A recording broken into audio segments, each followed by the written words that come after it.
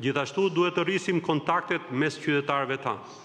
Një linjë ajrore direkte midis Ljubljanës dhe Tiranës do të ishte një mundësi e mirë, jo vetëm për shtimin e kontakteve direkte, por edhe për rritjen e numrit të turistëve që vizitojnë vendet tona.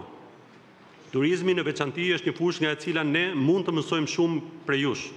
Në këmbim, sllovenët do të mund të shijojnë më tepër bukuritë malore dhe bregdetare të Shqipërisë.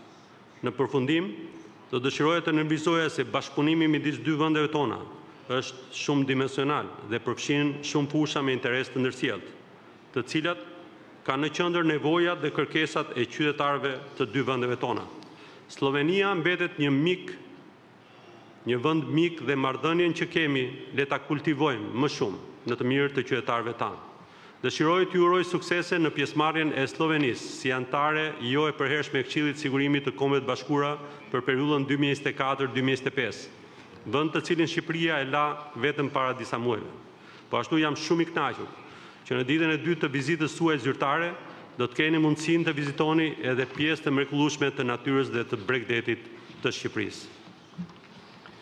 Ju faleminderit, zoti president. Fjala për presidenten e Republikës së Sllovenisë, shkëlqesinë e saj, zonjën Natasha Pirc Musar.